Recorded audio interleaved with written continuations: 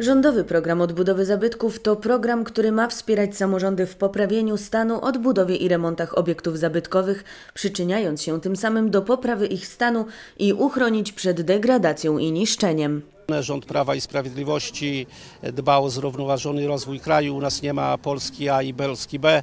Chcemy, żeby te środki trafiały do wszystkich miejscowości, do wszystkich samorządów i to się dzieje. To się dzieje też widać e, to po e, rozdaniu w programie Fundusz Inwestycji Strategicznych Polski Ład, co chodzi o ochronę zabytków, gdzie chcemy e, dofinansować, żeby każda gmina, każdy powiat, województwo, samorząd województwa otrzymał dofinansowania przeznaczone właśnie na konserwację tych obiektów zabytkowych, które nie, są niezwykle cenne, a szczególnie one mają dużą wartość w środowiskach wiejskich i małe samorządy, które mają bardzo niskie budżety, na pewno nigdy by nie, nie było stać ich na to, żeby taki budynek można było odrestaurować.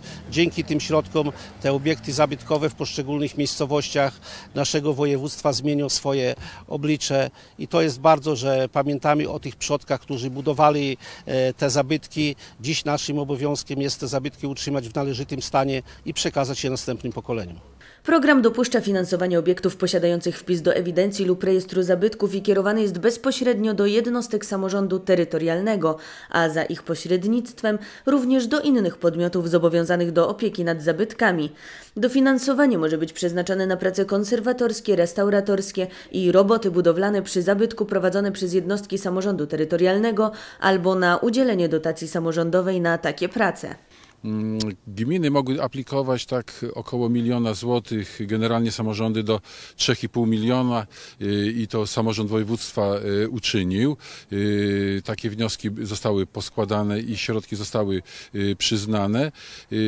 Tutaj jest dofinansowanie 98% i możliwość nie tylko zabytków samorządowych, ale, czyli tych komunalnych, ale również zabytków innych na zasadzie porozumienia i w to y, weszli księża proboszczowie i tutaj jest trochę tych y, programów na zabytki. Właśnie tutaj stoimy przed y, dzwonnicą, bardzo charakterystyczną, ale dzwonnica usytuowana w takim miejscu, że wymaga prac konserwacyjnych, renowacyjnych, ponieważ no, też i duży ruch i, i są już takie pierwsze symptomy, że, że te prace muszą być wykonane, żeby utrzymać w całości tą substancję. Ale, ale też jest na dwie kaplice cmentarne w Zambrowie bardzo ważne, które do tej pory parafie nie były w stanie samodzielnie udźwignąć. Przy dofinansowaniu 98% nie, nie stanowi to już problemu i dwie bardzo mm, znaczące kaplice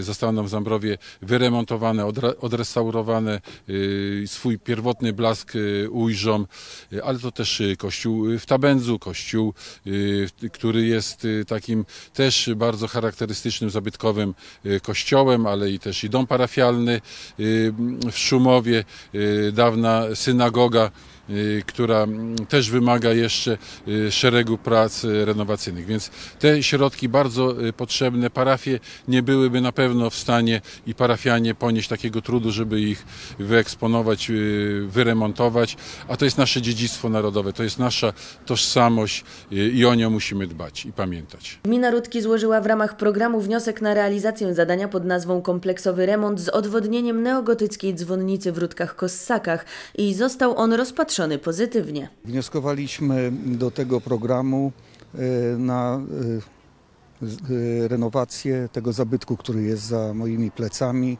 czyli dzwonnicy, która nie tylko spełnia jakiś sakralny, jest sakralnym jakimś elementem, ale też jest herbem gminy Rudki. My jako mieszkańcy tej gminy, parafii Rudki jesteśmy przywiązani do tego E, zabytku i e, wiem na jakie trudności trafił ksiądz proboszcz przy e, planowaniu tego remontu.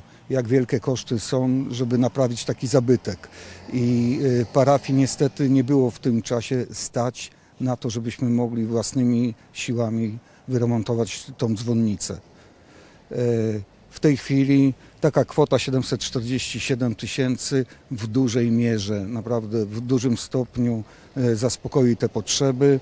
i będziemy mogli się dalej cieszyć tą dzwonnicą na kolejne, mam nadzieję, setki lat. Na remont neogotyckiej dzwonnicy w Rutkach-Kosakach przyznano 747 798 zł.